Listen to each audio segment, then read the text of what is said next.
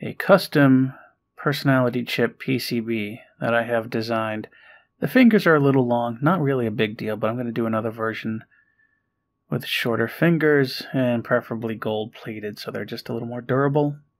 But it does surface mount memory chips or through hole memory chips, whichever one is more convenient. So here's the surface mount version. Here is the through hole version, which I've added a socket too so I could easily remove this chip and reprogram it as I want. So now it comes down to how is the audio on the personality chip organized and figuring all that out before I can start really making actual personality chips. So here's what I know so far, which is when I press this button, the sound button on the controller, it's going to play audio from one of the first seven groups of audio on this chip. Personality chips have groups of audio, have 12 groups of audio. The first seven chip uh, groups, uh, one of those audio clips in one of those first seven groups will be selected at random and played when I press this button like so. Yes, thank you, BB8. Um, the other five groups, uh, those are audio for uh, R2 accessories and a couple of very specific instances, like when uh, your droid is activated for the very first time. Uh, so it's not something to worry about, or it's just those that first seven groups. Those first seven groups. That's what we care about. Um, so that's how you get your personality. So if you're in a first order area, the group that's designated for first order noises will play. So your your R2 or BB unit will, if it's a first order friendly chip, it'll have friendly noises. If it's a a personality chip that should uh, uh, be afraid or not like first order, it, the, then the emotion of those audio clips should be different, should be frightened or angry or something like that. Um, but figuring out how all of that is organized is what I'm working on now. So. Boop, boop, boop, beep, beep, beep. Hey, I'm thirsty. There's the. Boop. Yes, thank you. That's the custom chip in there showing you that it works. Um, but how can you how can you map out what uh, group belongs to what emotion or whatever? Well, you can emulate Bluetooth beacons. Here's an older phone that I have. It's got an app on it called NRF Connect, which is free that anybody can use. And you can see I've got a uh, hex uh, a company identifier of 0183, and I've got this big long string of characters for the Bluetooth beacon that is encountered in dock on DARS.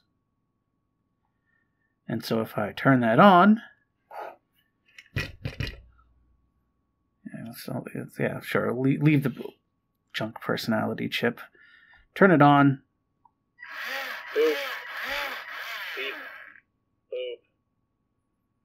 Happy?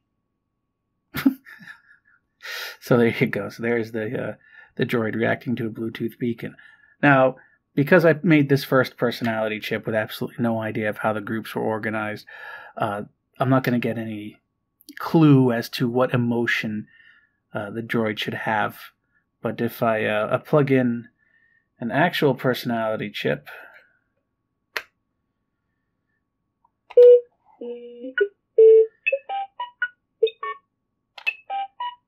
see that's uh, so there's an actual personality chip in there. The problem now, though, is when I turn this on, it's going to take like uh, a minute or two for this thing to react again to that same beacon. So I'll just put that off to the side and talk because I encountered a problem. Uh, oh, oh, very nice. Responded very quickly. It broke. While I was trying to start while I was starting to map out the audio groups, this thing broke. What would happen is, as soon as I activated one of those Bluetooth beacons, it would go into shutdown mode. and uh, that's not a good thing. Did I break it with my custom personality chip? I don't know. So I opened it up, and long story short ish, here's a here's the main PCB inside the BB unit. Uh, this is the front. This is the back. Uh, this is the main microcontroller that runs the show. Here's your Bluetooth antenna. This microcontroller. This is a Nordic Semiconductor 51822. Very common chip. This does Bluetooth communication, so the remote controller receives the signals from the remote control and sends them off to where they need to go. The motor connectors are here to make the motors turn. And through these three vias here and a couple other hidden under here, they come down to this side and go into this, which is the audio microcontroller. That connects to this socket here, which goes up to where the personality chip is read. So this encounters a beacon. It starts making the uh, unit, the BB unit, move, and also tells the audio controller, hey, play sound 4 from group 3 or whatever, or play a random sound from group 2 or whatever.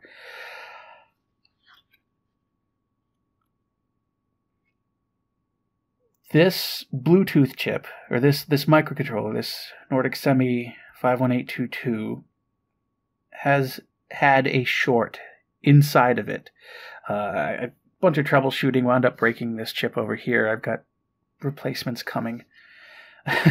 but uh, I wound up taking this little sub PCB off and found that this chip had a short in it. And there's not much you can do for that. Uh, there's no there's no fixing that. You have to replace the chip. And so because I had no idea what I was doing, I ordered a couple of these Bluetooth beacons. They're just little little again like sub PCBs meant to go on a bigger PCB, but they've got the same Nordic Semi chip on it, and they've even got little Bluetooth antenna and stuff. And I could program these to act as little Bluetooth beacons. So I figured, hey, if I was able to fix this, then uh, maybe I'd have a couple of Bluetooth beacons I can use to play around with the droid later. So that's uh, what happened. I and and I, I'll spare you the details, but it was an adventure. I was able to remove the programming off of this chip while it was still working and put it onto a new chip. So here's the there's the Bluetooth beacon where I took the chip off of it and I replaced it with this with I replaced this chip with the one I took off of the Bluetooth beacon, reprogrammed it using the programming that I took off of the old chip, and somehow it worked. And again, the, that whole process of pulling that off took a couple of weeks and was very interesting because this chip has a feature that should prevent me from being able to do that. But it also has a weakness that lets you bypass the protection to read the data off of the chip. So, writing a couple of programs to exploit that weakness and getting that programming that was that was an interesting thing. Uh, I'll spare you the details on how this board works. The point being that I now have a working BB unit again. It just can't move in all directions because, again, only one motor works. The motor driver chip for the other motor needs to arrive, and that's going to be a couple more weeks. So let me uh, demonstrate something. Okay. Just wanted to make sure it wasn't going to sleep quite yet. Let me showcase one thing about the beacons here. So there is the manufacturer ID, that 183, always the same thing. Again, this is the NRF Connect app. This is an Android phone, but there is an iPhone version as well. You should be able to use if you have one of those. Uh, it's a free app. Um, there's a lot of numbers there if we go to this number here is 0A040 and then a number. That number tells the droid from which group to play audio from. So it's a 1 here, so it's only going to play audio from group 1, and it will go all the way up to group 7. If you put an 8 or 9 or 10 in there, a 10 would be the letter A. Uh, this won't respond, the, the droid won't respond. So, for example, if I make this a 7, hit OK, it's no longer docs, it is first order. Now, when I hit this, in theory, the sound that this thing makes, because this is the stock BB uh, sounds, I believe it will be scared or sad or something like that. Let's find out. Turning it on now. And yeah, I kind of get that emotion. That's a little cautious, a little afraid, maybe. And then you could change it to something else. Well, actually, in this case, instead of just like instead of making changes, I'll just hit clone. Open up the clone, and we can change this to something else. Let's make it say resistance. Do I spell it right? Uh, it looks like I did.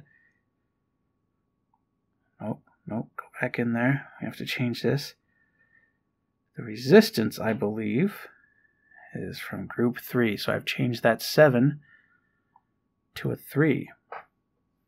And you can see how this is going to work. This Droid 1, this is the Bluetooth beacon that the droid emits.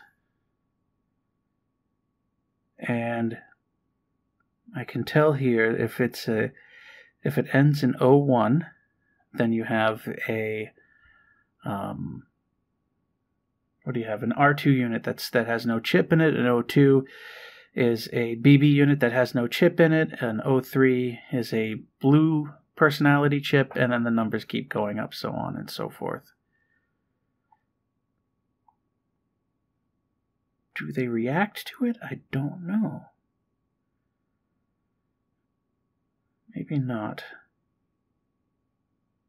It also might be a little early because again, the droids will only react every couple of minutes. It's, I think it's like one and a half to two and a half minutes, and and how long it takes before its next reaction is slightly random. At least from my limited testing. Again, up until a day ago, this thing was not working, so I haven't had an opportunity to test this in the last, geez, three weeks. No, it's not reacting. So if I bring up the resistance beacon,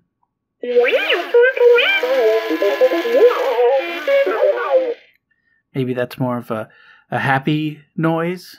Again, this how you interpret the emotion of a bunch of beeps uh, could be um, open to interpretation.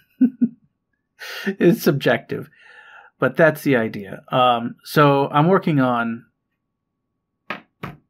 I want to try and make a personality chip one that sounds like a droid, not something that's audio clips from insert famous TV or movie character that you want your audio, your, your droid to sound like.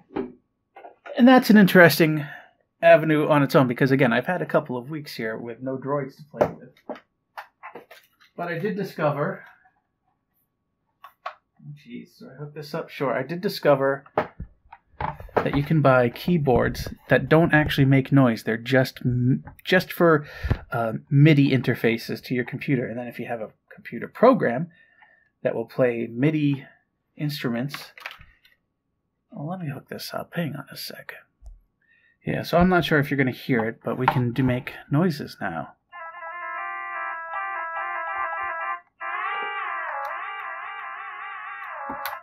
Which is kind of cool. So, armed with this and some software, you know, I have an opportunity here now to make a droid or two. Uh, personality chips, I mean. So that's what I'm working on right now. Something that I can share with others. Let's let's use that word for now. Let's say share. I can put on a custom personality chip and share with others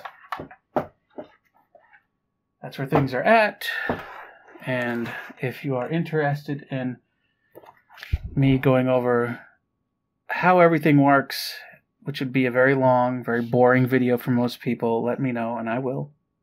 Because I have spent two weeks staring at this thing, poking it and prodding it with a multimeter, to the point that I feel pretty confident in my understanding of how everything works, except for this potentiometer. I don't know what that thing does, and I'm not going to touch it. All I know is it connects to, uh, I believe it's these two pins right here that go directly to the chip. There's nothing in between here. This isn't an audio thing.